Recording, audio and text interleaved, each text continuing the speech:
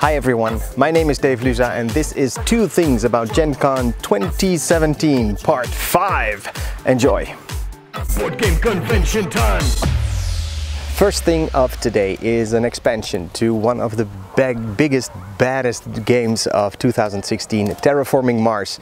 It is called Hellas and Elysium and it gives us two different sides of Mars that we are going to terraform and it gives us new achievements. It gives us uh, overall a new new ways to play new ways to win. I love playing terraforming mars so i'm sure i'm gonna love this expansion. Board game convention time. The second thing today is an event that i can't wait to try out. It's called true dungeon.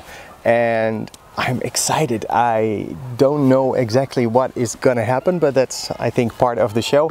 I did have uh, someone in Holland give me some tokens that will help me during my endeavors and adventures. And one very cool marker, I think, I now have boots of lava. So if the floor is lava, I am safe. So I think I'm really looking forward to playing True Dungeon.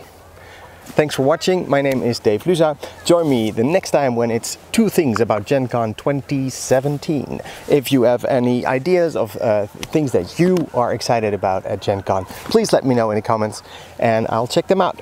Thanks.